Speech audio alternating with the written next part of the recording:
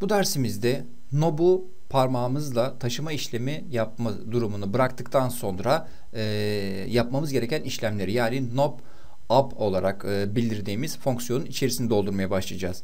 Önce biraz önce fark ettiğim e, mouse up'ı middle mouse up yani e, orta tuşa scroll tuşu ortadaki tekerlek dediğimiz tuşa basma işlemini bıraktıktan sonra da eventleri e, PC ortamında yakalayabildiği için middle mouse up yazmışım. Bunu hemen mouse up olarak düzelttim. Siz de kodları e, karşılıklı yazıyorsanız mutlaka bunu düzeltmeniz gerekecek. Direkt mouse up olarak. Hemen mouse up e, tetiklendiği andan itibaren öncelikle knob start drag olarak başladığımız işlemi bitirmemiz lazım. Stop drag olarak bitiriyoruz. Yani taşıma işlemini mutlaka bırakmamız lazım. Bu da touch eventine otomatik olarak dönüştürülecek. Diğer taraftan kar içerisinde herhangi bir hareket olmaması sebebiyle bütün move işlemlerini hemen false'a döndürüyoruz. Yani kar üzerinde herhangi bir hareket olmasın. Right false ve kar içerisinde move e, up sanırım o evet o kalmıştı. Bunu da false'a döndürerek işlemimizi bitiriyoruz. Diğer taraftan eğer bırakma işlemi varsa yukarıda tanımladığımız enter frame ki işlemcide e, sürekli olarak çalışacağından dolayı ciddi bir işlemci gücü ve batarya yiyeceğinden dolayı bunu mutlaka durdurmamız gerekecek. Hemen e, kontrol ederek ya da kontrol etmeden direkt this add event remove event listener hemen gelelim remove event listener Hatta direkt içeriğini kopyalamamızda herhangi bir sakınca yok. Çünkü sadece remove deyimi değişiyor. Direkt olarak temizlemiş olduk bırakma işleminden sonra. Bu işlemden sonra nob'un animasyon yaparak direkt olarak merkez noktasına dönmesini sağlayacağız. Yani nob'un içerisindeki joystick knob klası içerisindeki origin x ve origin y olarak kullandığımız, hazırladığımız bilgiyi direkt olarak bu bölümde kullanacağız. Bunu istersek ayrı bir fonksiyon, istersek de direkt bu bölüm içerisinde yapabiliriz.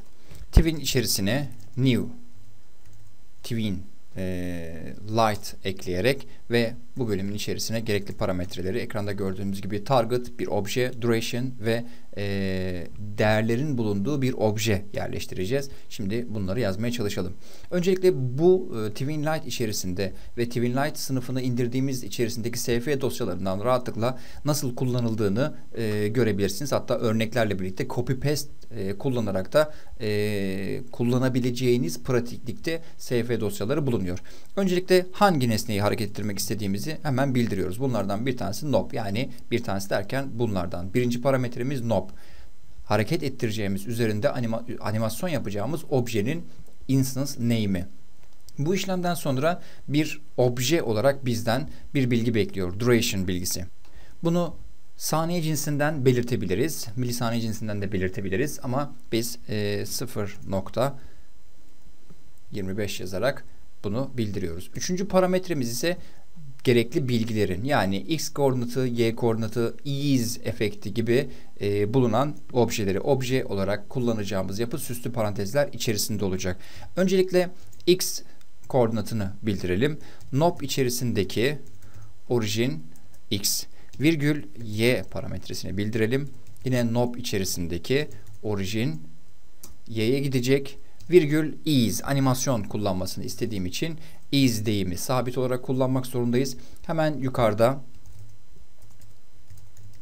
bounce ki biz kullanmak istediğimiz bounce direkt green shock içerisindeki bounce olduğundan dolayı hemen bounce seçiyoruz. Nokta is out is out'ta herhangi bir parantez kullanmıyoruz. Kullanmadığımızda da varsayılan değerlerle kullandığını görebiliyoruz. Satırımızı genişletelim. Ekranda gördüğünüz gibi birinci parametremiz hangi objeye hareket ettireceğiz? Bu hareket ne kadar saniye sürecek? 0.25 saniye. Yani saniyenin dörtte biri kadar. Diğeri de hangi koordinat? Koordinatlar ve ease efekti. Yani harekette kullandığımız animasyon e, efektini burada belirteceğimiz durum. Objemiz 3 tane parametre bekliyor. Hemen testimizi yapalım bakalım. Ctrl Enter. Ekrana objemizi getirelim. Hareketimizi yaptık, bıraktık. Gördüğünüz gibi artık ekrana animasyonla geri dönüyor. Biraz önce bıraktığım andan itibaren direkt olarak ekranın ortasına geliyordu. Şimdi animasyonla dönme işlemi yapıyor. Bu şekilde artık joystick'imizi kullanılabilir hale getirmiş olduk.